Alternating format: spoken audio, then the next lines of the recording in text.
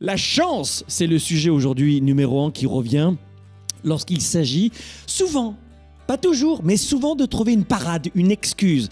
Est-ce que la chance existe vraiment? Alors comment tirer le meilleur parti pris de ce phénomène de chance ou de malchance pour aboutir à un résultat positif? Je dirais que j'aimerais vous inviter à utiliser quatre stratégies. Première stratégie, moi plus j'agis massivement, plus je passe à l'action, massivement et plus j'ai étonnamment de chance.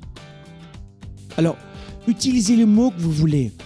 Mais moi, si vous saviez la chance que j'ai depuis que j'agis stratégiquement et massivement. Stratégiquement, ça veut dire que notamment, je vous invite à modéliser quelqu'un qui a réussi avant vous.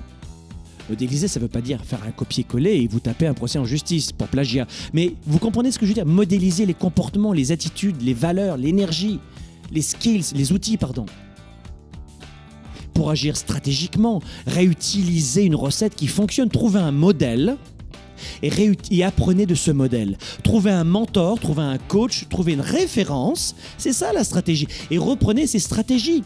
La plupart des gens qui ont réussi ont au moins écrit des programmes, des livres, des audios.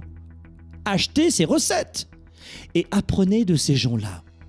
Deuxième conseil pour transformer la chance en opportunité, travaillez dur pour améliorer votre chance.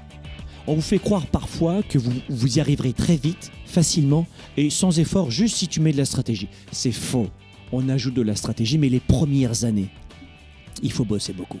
Donc vous voulez avoir de la chance, travaillez intelligemment, stratégiquement. Oui, oui, ne vous y trompez pas, je suis un homme de stratégie.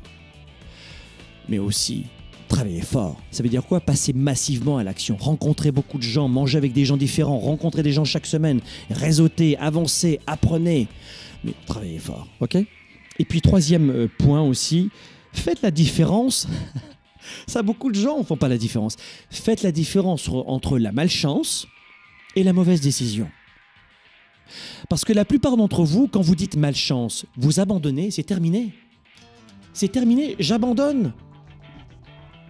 Voilà pourquoi vous parlez de malchance. Vous vous dites, bah, j'y peux rien, ou je n'y pouvais rien. Quand tu utilises le mot malchance, tu dois entendre mon cerveau a besoin d'une excuse pour justifier mon résultat négatif ou douloureux. Et je ne sais pas comment sauver mon ego dans l'instant.